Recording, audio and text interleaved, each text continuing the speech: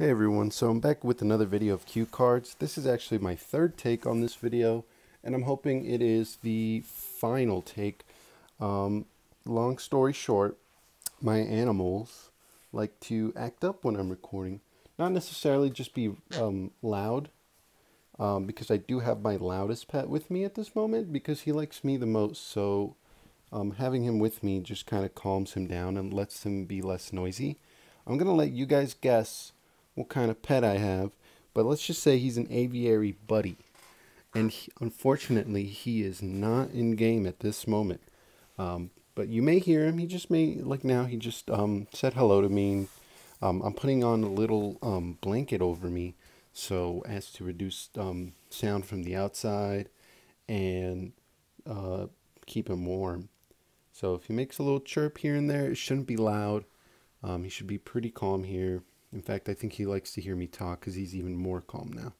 So today we're going to just go discuss over, oh, you're chatty, aren't you? Um, so today we're just going to discuss over tourney and how I got to rank 20 dragon.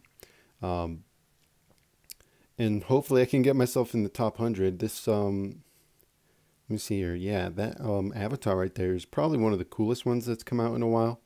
Um, not to say that the one from last week or the week before was nice, but um, I just I just like how diverse they can be in terms. Usually they're you can see the world one and then that kind of primal dinosaur one and that third one up top. That third one being the most different. Um, and just to show off a bit, uh, I finally made it to top 100 for three weeks in a row. Um, as soon as I made it, I've been making it top 100 for a while, but I couldn't really make climb up the ranks all the way. So now that um, you know I've sadly spent some real cash on here and uh, just all around grinding. I think grinding is what's helped the most in terms of trading. Like I got cloning recently, and it's been a huge help to this deck. And right now, this kind of meta that I've seen for this week is kind of what I call tiny but mighty. So you can see a lot of my cards here have very low energy cost, and the way it thrives is by um sorry my bird gave me a little kiss is by not only having low energy because this uh, tournament kind of doesn't give you it's very awkward with energy um, gives you a minimum of 15 you can top out at 22 but um, for example adding an energy card it just really dampers your power so it's not really worthwhile because you can't even break 15 you know you're going to need two or three energy cards to do that. And Okay, my bird just kind of freaked out there. Um, if I had a camera, I think this would be a lot more pleasant for you guys as the viewers, but for now it's going to be a bit of a distraction. I apologize for that. Um, so where was I? So yeah, um, a lot of these decks, um, very few have high power, high energy, and again, the way they really output power is um, a lot of these give buffs to the lower energy cards. I mean, there is a rainbow factor to this. It is a rainbow deck, so Heimdall also helps out, and as well as Eros. Um, but they can easily, if this wasn't a rainbow deck, this could easily swapped out for a lot better rainbows.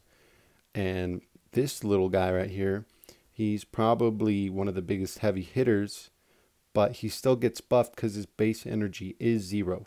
So even though he gets 60 plus after I use him the first time, the first time I use him, he could have already 60 and the next time it comes around, he's already got double. Um, and you can just kind of read these cards and see what I mean. And then the um, the and so the buffs that really help out is the Testudo formation, Door to Hell, and Heimdall. Um, Jade Emperor can be useful, but he is kind of um, weak to start off with. But I probably use him mid game or late game, and that's how I just kind of smooth it all out. So the the I'll show you guys here, but the um, best kind of hand I can have and the best thing I try to work around is I try to do one round just using one uh, using door to hell. Door to hell I have no option. So if I ideally I would want door to hell first, and then next round, uh, or if I get um, Testudo formation in the same round, I'll hold off on using him, so um, that I don't you know I don't buff my cards too much, um, especially if I'm already winning. So I'll use him, I'll hold on to him next round and use it. And then ideally, um, he's not the biggest uh, buff, but I'll like use Heimdall in one round, Testudo formation in the other, and Door to Hell. And I'll and I'll hold on to these cards to make sure that happens. And I think that is how I've been winning a lot of these um, battles. So we're gonna go ahead and just kind of kind of put my gonna put gonna put to practice what I said. Um, so yeah, I put a little blanket over me so that my parrot could get warm. Bless you. And he is now just on excuse me, he now, he's just on top of it now. Yeah. And he's still cold. Like it's kind of cold where I'm at right now. I don't know if that's too loud, but it's too loud for me.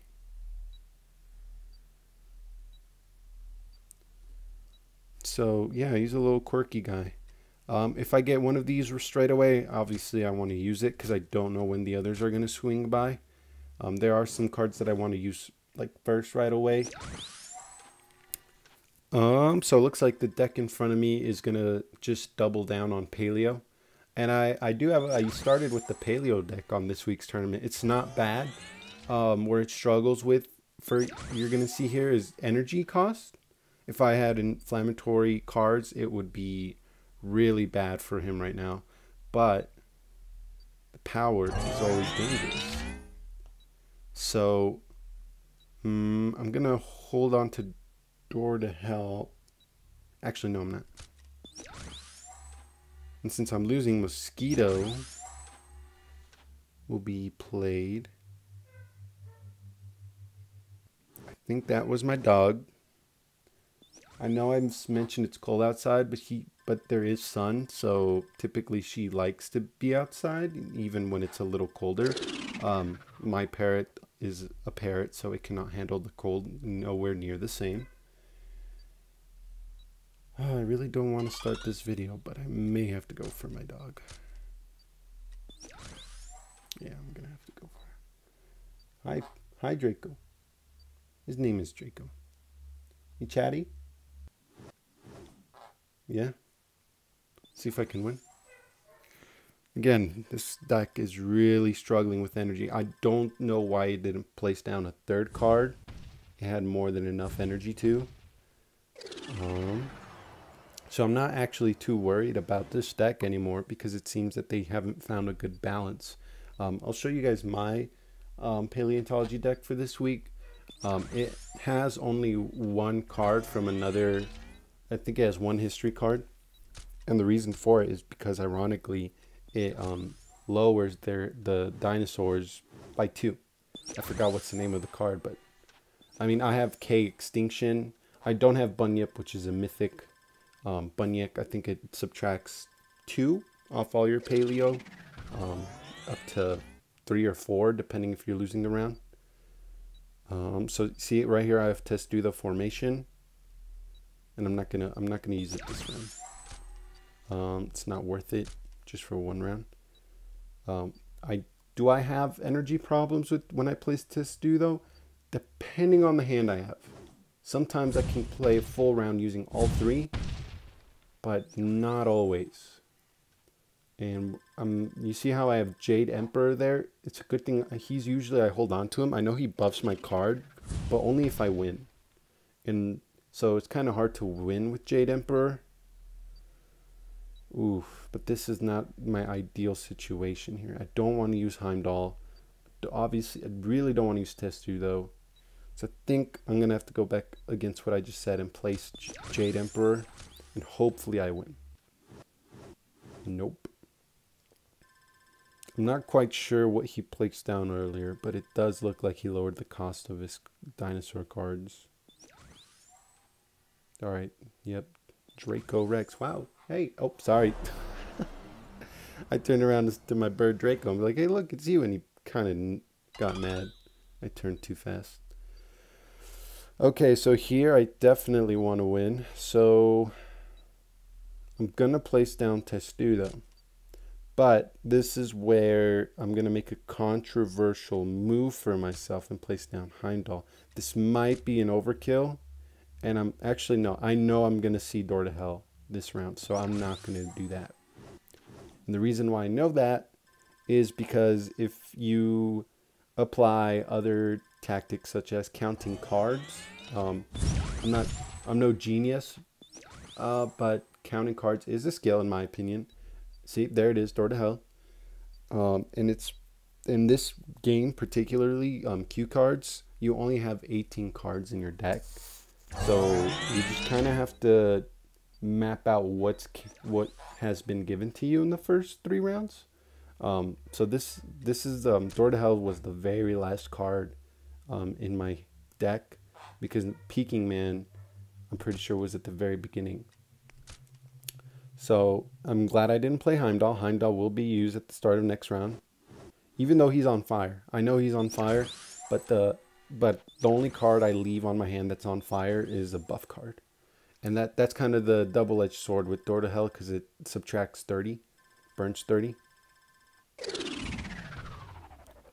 And I'm really hoping my dog isn't being picked up. I don't think um, she's barking anymore to be let inside. She probably found a squirrel or something.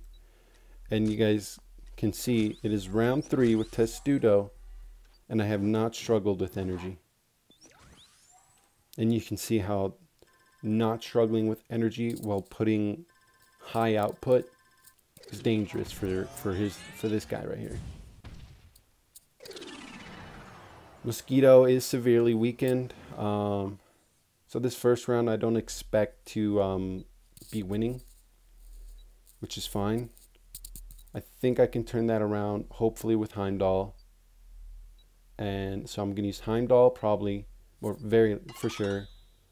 Hypernova, he's kind of, I didn't really want him to play out in this hand right now just because I'd rather use um, Arthur Pluria or Sea Sheep. Definitely you, definitely you. Okay, I can't actually even use Hypernova, so guess we'll start here.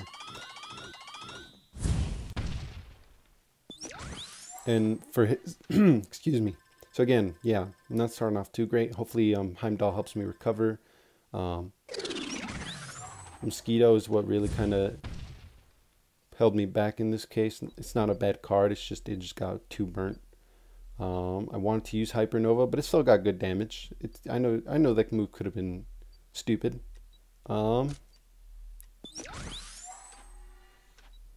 yeah. Okay. I see. I see. I'm, I might throw away this round depending on this turn. Yep. I still won, which is okay for the turn, but for the round, I think I'm just give it up.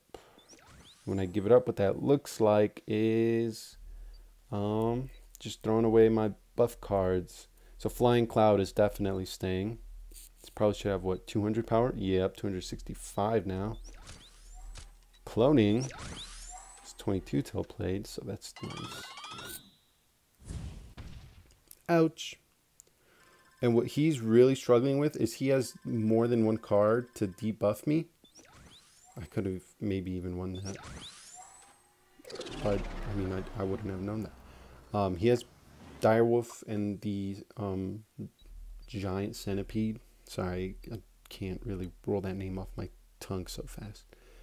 Um, but since these base cards are so low, they just get buffed to the moon. That's why they're not affecting me but I'm affecting him because he's he's got you know big scary dinos and I have little mouse and a sea sheep kind of putting into work. And look at this look at this damage. I mean, you guys want to see all the buffs: Door to Hell, Flying Cloud, um, cloning, Jade Emperor. I did win once with him. Peking Man. Wow. Okay, Peking Man on this card, 350. That is absurd. I'm just gonna let it play out. 564. Let's go. Um. Dinosaur decks are formidable. It's just the way this tournament is laid out does not favor them.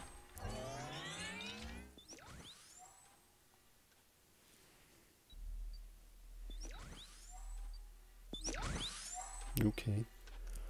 So Door to Hell is still playable. You're still playable. You're still playable. What about you? 417. Yep. 424. Okay. I think he's held on to that Diplodocus.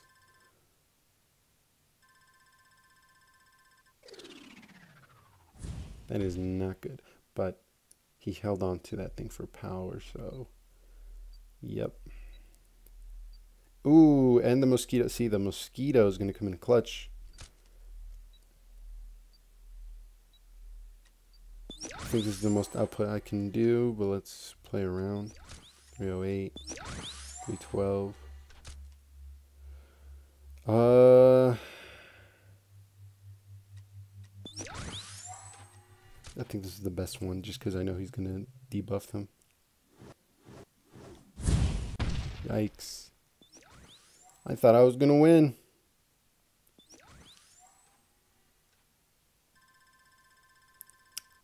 So he held on to the Diplo and T-Rex. Okay. And we're going to look through the library here. Now, I didn't say his deck was bad. I said he had inflation issues. Okay, girl mama. And we're going to just kind of see where things went wrong with that Diplo.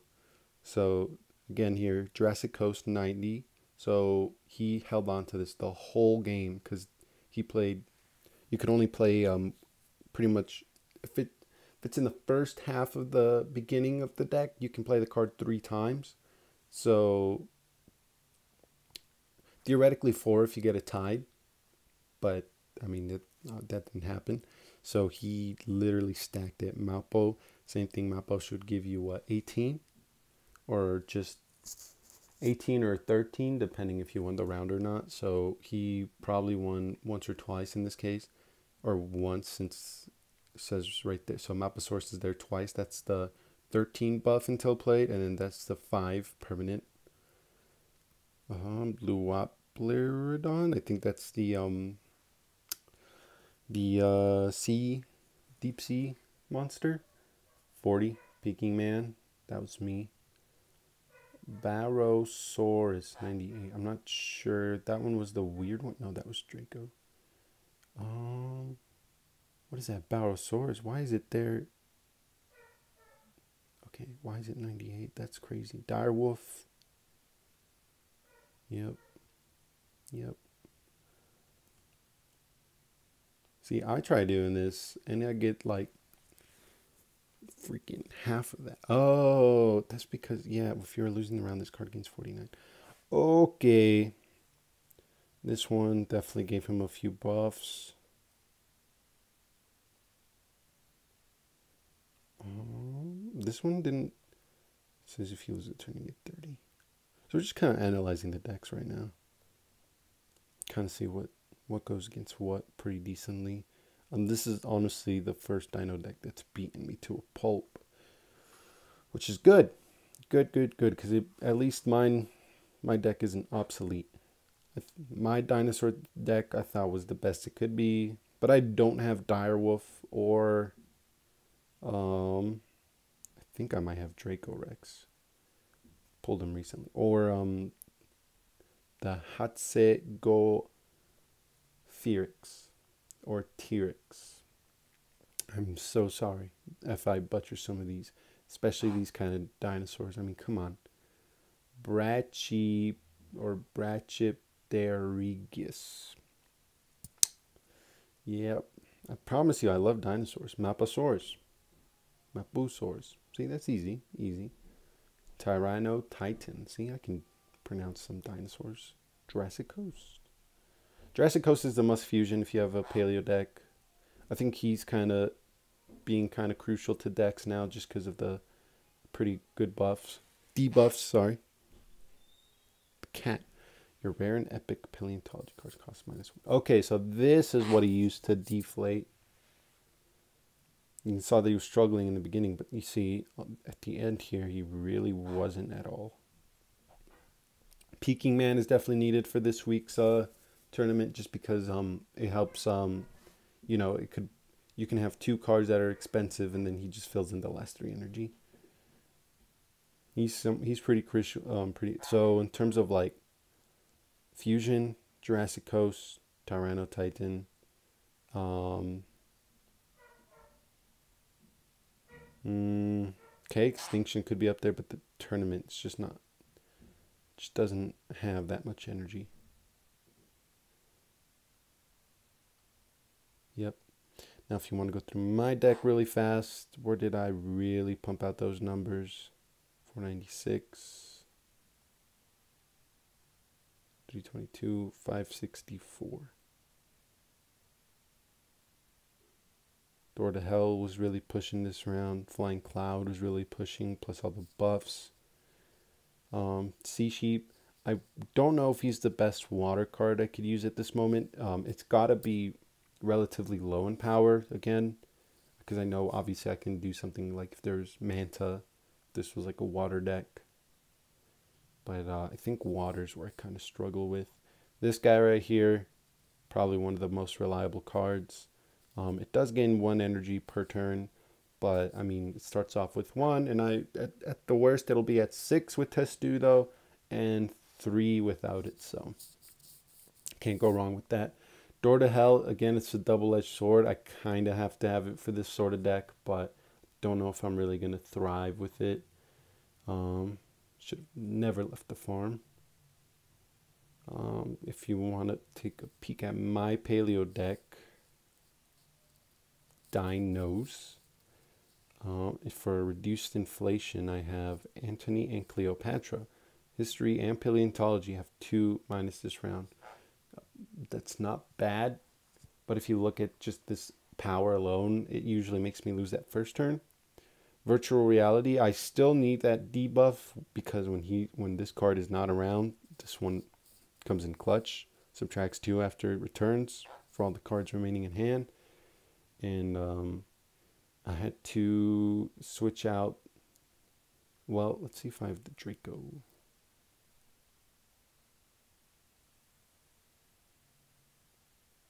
Nope. Yeah, I would have switched the Draco out probably for this one, but this one just gives out 10 plus to paleontology till played. And it's not, yeah, it's just not the, there's like a few cards in here. You need to have a few low leveled energy cards no matter what. Um, just because otherwise the energy is too high and all the dinosaurs tend to have, or all the paleo tend to have really high energy. Um, but they are really powerful. Um, Plio is really good, subtracts 2 and adds 15. Um, this one is relatively weak, but it gives plus 18 buff, which is pretty good, and 7 passive. Um, this one is just not so great all around. I mean, you can just kind of, you know, this one is like significantly better in every way because it's like getting, if you place three cards down, it's like getting 52 plus around. Plus the 7, 59. And this one only gives you 30 per turn and this guy gives you 15 but his inner his power alone um, is decent not to mention plus the 15 he might as well have 70 um, or i'm sorry 84 power and for so he can have 84 power for 5 energy if he gives it all to himself which is good but even if it's spread out it's the same thing in my opinion um, this one is obviously great. Again, gives out gives out uh, 90, 92 energy over overall with just its um, abilities. Plecodus, um, scary looking guy, but uh, his only drawback is you don't want to use him at the early turn just because he can give them plus 14 for the round, but it does tend to be pretty clutch, and usually I hold on to him towards the end of the game to buff him just because he already has a decent amount of power with relative low energy. So by the time it's round, uh, the final round, um, he tends to have like 300. Um, others can have more, like um, you, you saw the guy in the previous match, um, but I just don't have the setup like he does. Uh, Pleo, uh, he's kind of, he's really good overall, but you really don't want to play him only at the first turn of a round for the 15 bonus and he's just kind of high cost, so you kind of have to work your way around him. Same thing with the Maposaurus. It's not that this one is better than that one. It's rather than having two high energies like this, kind of puts you at a disadvantage because you want to play him first for, you know, the, that giant buff that we saw, but at the same time, you know, you can't really play these if it's the first turn of the round at the same time. Raja, Raja is the only inflation inflationatory card I have. Pretty good. Um, it's basically inflation for them and none for you. Uh, you this one's a must-have. I do have a spare. Gives uh, 20 to all played. Um, this one I'd probably switch out for the Draco or or the flying guy, but um, this one and this one, oh, not sorry, this guy and the T-Rex, wherever he's at, are kind of in the same ball field. I do think he's slightly better, um, just because whether you're winning or it's the first time of the round, you still get that buff. So it's a little bit safer. It costs more, but it's safer than the T-Rex in my opinion. Um,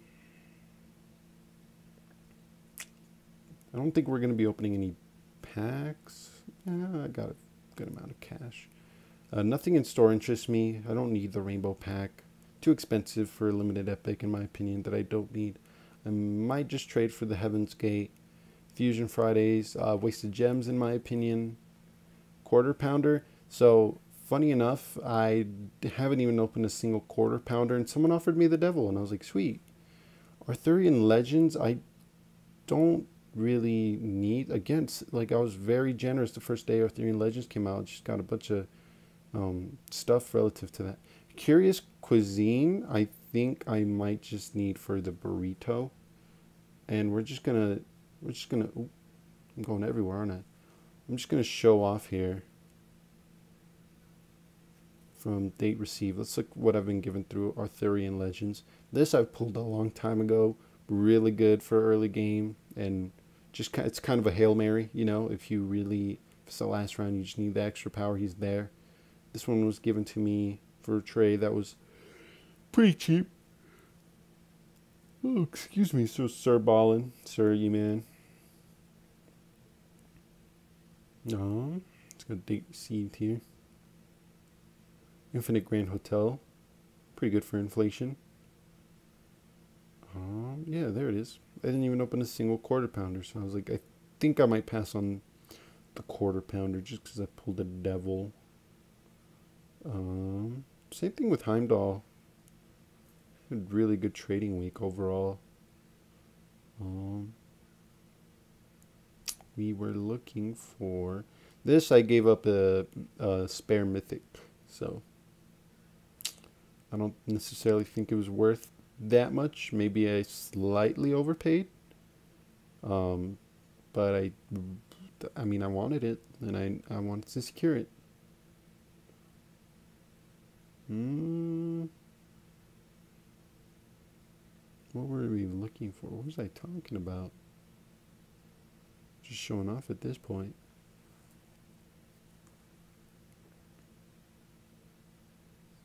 Mm-hmm, mm-hmm, mm-hmm. Oh, yeah, yeah, yeah, yeah. We're going to look at um, cuisines here.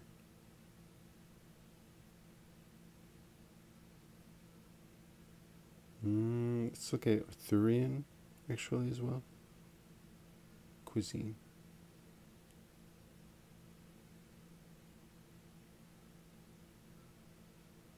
Put want.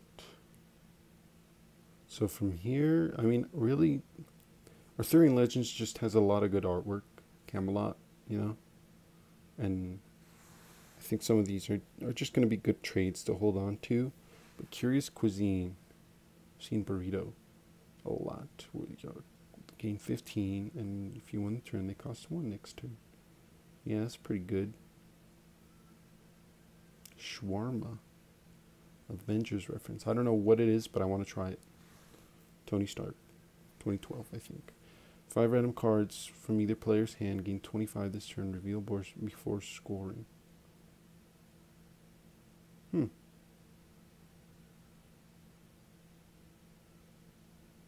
Yep. I don't know how people made a lot of deck. Burrito was very playable before. That doesn't look too crazy, but I still want burritos. Okay, well, I think I'm going to leave it at this. That was kind of a lot of very um, analytical for this video, in my opinion. And I don't want to make any any longer just because there's a lot to go back to and just kind of relearn. And we saw really, really good decks today. Two of them, two of them were mine.